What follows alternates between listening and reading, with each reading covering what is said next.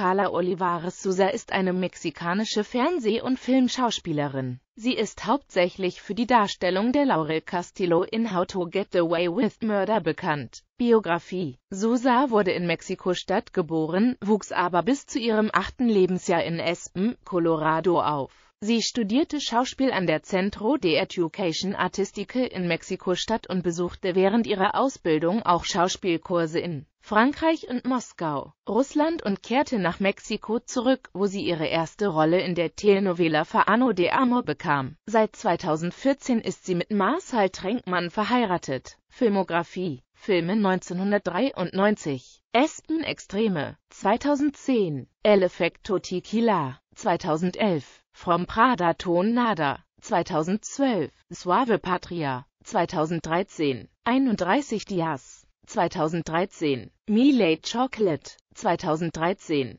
The Noble Family, 2013, Instructions Not Included, 2014, El Crimen del Cacaro Gumaro, 2014, The Jesuit, 2015, Sundown, Fernsehserien 2008, Terminales 2009, für Anno de Amor, 2010, Persons Unknown, 2010 zu 2011, Los Heroes del Norte, seit 2011, Nino Santo, 2012, La Clinica, seit 2014, How to Get Away with Murder,